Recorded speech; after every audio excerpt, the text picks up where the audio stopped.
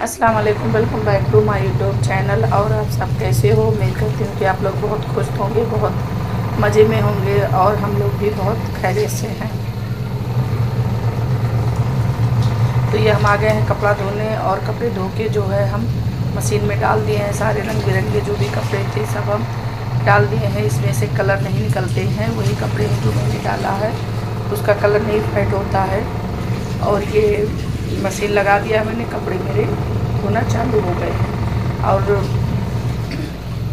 ये देखिए, और मैं कपड़े जो है डिटर्जेंट कौन सा इस्तेमाल करती हूँ, मैं आपको बता रही हूँ, मैं जो है सर्फ एक्सल ईजी वाश इस्तेमाल करती हूँ, और जैसे ओलन वगैरह धोना हुआ तो मैं ईजी वाश कर ईजी से वाश करती हूँ उसको। और बेडशीट वगैरह भी मैं सर्फ एक्सल से ही धोती हूँ, इसलिए मेरे बेडशीट वगैरह भी चमकते रहते हैं। मेरे कपड़े भी चमकते रहते हैं और मैंने बताया था कि जैसे पीला, कपड़े से पीलापन हटाने के लिए क्या करना चाहिए? तो कपड़े से पीलापन हटाने के लिए देसी अगर नुस्खा आजमाया जाए तो आप नींबू ले लीजिए और थोड़ा सा नमक और उस पर जहाँ पे दाग पड़ा हो उस पर रगड़िए, फिर वो सारे दाग ख़त्म हो जाएँगे। अगर आप वो नहीं कर सकते हैं तो आला अगर आप डालेंगे तो आले से जो है कलर वाले कपड़े हैं तो जहाँ डालेंगे वहाँ वाइट हो जाएगा। तो आप जो है बैनिस ले लीजिए। बैनिश डाल के एक ढक्कन और उसको जो है, कपड़े की जो है पाँच मिनट तक छोड़ दीजिए उसी पे लगा के, उसके बाद फिर उसको वाश कीजिए। फिर देखिए, कपड़े देखिए आपके कैसे चमक जाते हैं, सारे दाग धब्बे सब ख़त्म हो जाएँगे। तो मेरे जो कपड़े मैंने धोए थे, उसको जो है सुखा लिया था ड्राई कर लिया था। तो ये जो ड्राई में मैंने डाल दिया था ड्राई हो गया, मैं सारे कपड़े निकाल लूँगी। एक एक करके तो बच्चों की भी कपड़े हैं, इसमें जो है अंडर भी हैं बनियान वगैरह हैं, फिर थोड़े से बड़े भी कपड़े हैं। तो मैं जो वाइट कपड़े होते हैं, जिसके जो है हल्के लाइट वाले कपड़े होते हैं, ये सब जो है मिला के मैं एक साथ धो लेती हूँ। अगर ज़्यादा कपड़े हैं तो अलग अलग धोती हूँ। और जब थोड़ा रहता है तो लाइट कलर वाले और वाइट ये मैं एक साथ धो लेती हूँ। तो ये सारे कपड़े मैंने निकाल लिए हैं, सब लाइट कपड़े हैं, और जिसके जो है कलर नहीं फैट होते हैं, वो भी हैं। और बाकी जो रंगीन कपड़े हैं, वो सब मैं अभी डाली हूँ मशीन में, वो सब मेरा धुल रहा है। तो ये कपड़े मैं बाहर डाल के आ जाऊँगी और फिर दोबारा से जो कपड़े भी मेरे हो चुके हैं तो मैं उसको भी खंगाल लूँगी और खंगालने के बाद सारे कपड़े जो है मैं सूखने वाले, ड्राई वाले में रख दूँगी। फिर मैं जो है बेडशीट वगैरह जो है, वो लास्ट में धोती हूँ इसलिए कि बेडशीट जो है, एक बार कपड़े धोने के बाद मैं पानी को सिर सरफ वाले फेंकती नहीं हूँ, फिर उसमें जो है बेडशीट वगैरह मैं डाल देती हूँ। तो उसी सरफ के पानी से जो है क्लीन हो जाता है। तो ये मैं कपड़े खंगाल रही हूँ। मशीन में कप, कपड़े खंगालने की वजह ये है कि वहाँ पे जो है आराम से ज़्यादा पानी रहता है और उसमें कपड़े बहुत अच्छे से क्लीन साफ़ हो जाते हैं, कोई सरफ वगैरह नहीं रह जाता है। तो मैं जो है सारा कपड़ा उसी में खंगालने के लिए मैं बहुत कंफर्टेबल समझती हूँ, उसी में कपड़े में खंगालती हूँ। और ये जो कपड़े मेरे सब धुल चुके थे, इसको ला मैंने यहाँ पर फैला दिया है। इसलिए बारिश का मौसम है, बारिश कभी भी आती, आ जाती है तो इसलिए मैं कपड़े धो के फैला दी हूँ। आधा सूख रहा, आधा मैं धुलाई चालू है, मेरा धुल रही हूँ मैं।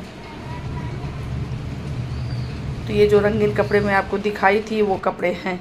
ये देखिए, सरफ वाले पानी मैंने निकाल दिया है और ये जो है, एक पानी खंगाल के छोड़ दिया है, दूसरा पानी भी मैं डाल रही हूँ, वो भी हो गया है, उसको भी मैं खंगाल दूँगी। तो चलिए, मैं कुछ बातें आपसे करना चाह रही थी तो मैं कुछ बातें कर रही हूँ कि जो है, बहू में भी बहुत कमी होती है और सास में कि सास के अंदर भी बहुत कमी होती है तो कोई कोई बहू भी ऐसी होती है कि उनको बहुत सुधारना भी मुश्किल हो जाता है, समझाना भी मुश्किल हो जाता है, इसलिए कि सुनती हैं, इस कान से निकाल देती हैं, उस कान से, और बहुत सी सास भी होती हैं, कितना भी समझाओ, कितना भी करो, लेकिन फिर भी उनके समझ में बात आती नहीं है। तो सास की तो आदत होती है कि बहू कितनी भी अच्छी मिल जाए, फिर भी जो है, ज़रा ज़रा सी चीज़, छोटी छोटी सी चीज़, ज़रा ज़रा से बातों पे जो है, कमियाँ निकालती रहती हैं, खामियाँ निकालती रहती हैं आयब निकालती रहती हैं। तो इन सब चीज़ों को नज़रअंदाज कर देना चाहिए। कभी किसी चीज़ में कमी नहीं होनी चाहिए। अच्छी सास वही होती है, जो कुछ बुराइयों को जो ढक लेती है और उस पर पर्दा डाल देती है और उसको समझाती है बाद में अकेले में। ये सब चीज़ मर्दों के सामने नहीं होना चाहिए ससुर हो या मतलब हस्बैंड हो या कोई भी हो। औरतों की बातें औरतों के बीच में रहनी चाहिए मर्दों तक नहीं पहुंचाना चाहिए। तो हम तो हमारी सास ऐसे ही थी वो कभी जो है घर की बातें बहुओं की कोई भी गलती ससुर तक नहीं पहुंचाती थी वही चीज़ हम लोगों को भी समझाती थी। वही चीज़ हम लोग भी फॉलो करते थे कभी भी जो है कोई बात होती है। तो जो जो हस्बैंड जो घर में मर्दों तक करने वाली जो बात होती है वो मर्द करते हैं। औरतों औरतों की जो ज़िम्मेदारी होती है, जो बातें होती है, जहाँ तक औरतों के बीच होनी चाहिए। तो औरतों का काम है घर की ज़िम्मेदारी, घर की, अंदर की मालकिन बनने की।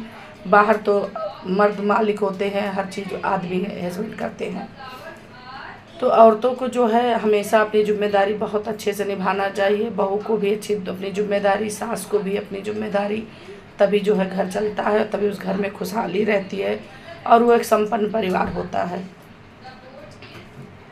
तो मैं बातें करते करते और देखिए सारे कपड़े मेरे खंगाल चुके हैं और मैं खंगाल के हो चुके हैं। बहुत सी बहुएँ ऐसी होती हैं कि अपनी जो है अच्छाई के लिए सास को घर से निकाल देती हैं। वो बेटे कैसे होते हैं जो अपने माँ को घर से निकाल देते हैं? और बातें मैं नेक्स्ट वीडियो में करूँगी। तो चलिए हमारी वीडियो को लाइक, शेयर, सब्सक्राइब ज़रूर कर देना। बेल आइकन के बटन को भी प्रेस कर देना कि हमारी आने वाली वीडियो की नोटिफिकेशन सबसे पहले आपको मिले। तो चलिए वॉचिंग द वीडियो अल्लाह हाफिज़। थैंक यू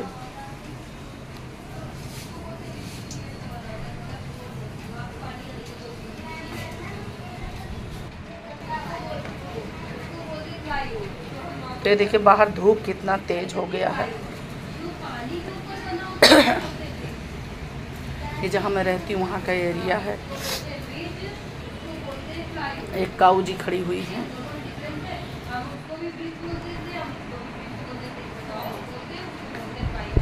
देखिए गए, सारे कपड़े जो है मेरे सूख गए थे, जो मैंने डाला था तो ये सब मैं उठा के ला के अब रख दी हूँ। मैं चल रही हूँ इसको दहाने की तरफ़ और इसमें बेडशीट वगैरह है, मेरे कपड़े हस्बैंड के हैं, बच्चों के। तो सबको मैं अलग अलग रखूँगी, कुछ प्रेस करने वाले कपड़े हैं, वो मैं कल प्रेस करूँगी आज ब्रांड नहीं बचा मेरे पास। तो मैं चलती हूँ, इसको सारे कपड़े को दहा लेती हूँ।